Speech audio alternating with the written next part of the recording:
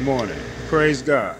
I am on my way down to feed the homeless uh, today. This is a blessed day.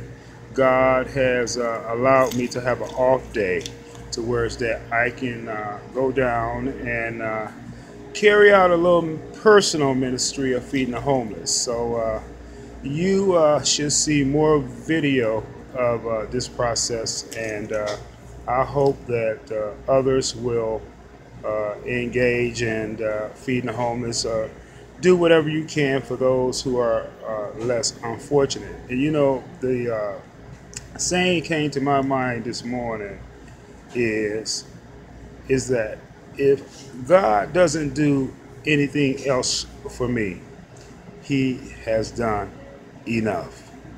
And so think about that. Think about the things that God has done for you, uh, where He has brought you from, so that you can meditate on that and wherever you came from, uh, the circumstances, uh, hopefully and prayerfully that you will see fit to do whatever you can for individuals too. So uh, just uh, be on the lookout uh, following this video for some footage of uh, my ministry, which is is God's ministry, but He's using me as uh, His little helper.